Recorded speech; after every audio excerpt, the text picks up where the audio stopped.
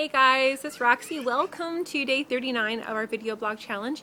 It's Saturday. I'm standing out here in the milky Alberta sun and I'm getting ready for a father-daughter date at our local uh, wildlife charity fundraiser. I'm super excited to be spending some time with some, you know, entrepreneurial spirited people, people that want to do our, uh, our wildlife and our environment in a, in a positive way here in Alberta this morning uh, when I was touching base with a couple of friends, we were talking about struggles and how complicated and hard it is and it really tied into my childhood days of all the struggles that I had.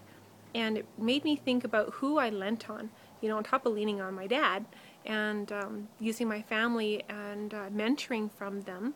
You I also had some amazing 4-H teachers and riding lesson instructors and college mentors and all of those men and ladies that were in my life helping me with my different 4-H projects or, you know, when I was training horses for other people, all of the struggles that I had, um, and I would, you know, reach upward like we're, we're taught to, we're encouraged to reach up when we're having a struggle, ask our mentors, and be willing to do what they tell you to do. If they tell you this is how you have to get past this point of struggle, then are you willing? Or are you just asking because you're hoping that there's an easier way that, you know, you can take the shortcut, you know?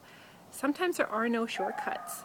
And understanding that the pains and the struggles, the headaches and the heartaches, it's hard and it's complicated.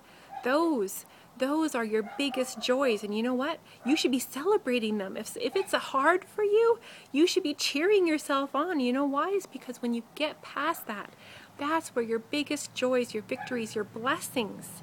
The bigger the struggle, the bigger the blessing awaits you. Know that.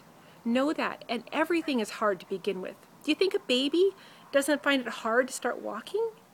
You know, and they fall down, you know, and they bounce up, they fall down, they bounce up, you know. You know, yeah, they fall down once in a while and they get bumped really, really hard and then a couple tears happen. Yeah, so we have a bad day and you have a couple tears. You get back up it's a lesson. There's learnings. You should be excited about the lesson and the learnings and the struggle and how hard and how complicated it is. Because that's where it gets good. That's where you get good. Okay? I'm sorry. I'm a little bit passionate and fiery out today. You know what? Because I was having a really hard morning myself and I was trying to clean up my Facebook Messenger because I'm super excited about our Facebook Mastery Bootcamp round number two that I want to start right away. And I'm talking with some friends and I know they're going to join in with me and it's going to be an amazing time to grow your business and grow yourself ultimately and grow your relationships and your communications. But my morning didn't go as planned. I felt like I'm getting further and further behind, and here I'm complaining that I have so many messages, I have too many conversations, I can't keep up, I'm never going to get ahead, I want to clean out my message folder.